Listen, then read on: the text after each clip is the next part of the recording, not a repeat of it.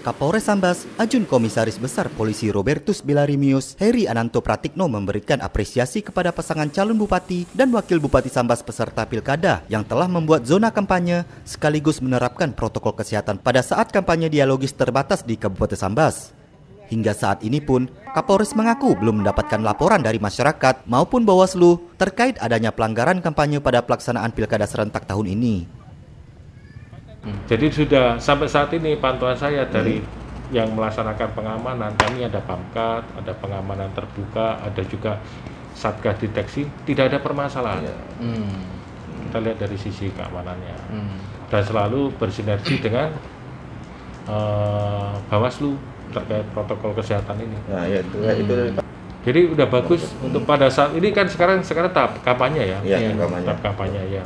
Jadi udah diterapkan sama tim pasangan calon. Bawaslu itu sudah dia tiap ada kegiatan kampanye dialogis selalu berdampingan dengan kami, hmm. dengan tugas pamkat kami maupun petugas yang pengamanan terbuka, hmm. melihat apakah protokol kesehatan diterapkan oleh pasangan calon atau tidak.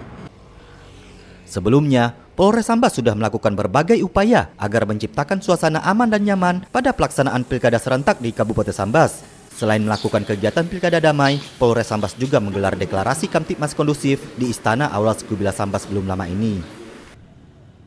CSM TV Madah Kanye.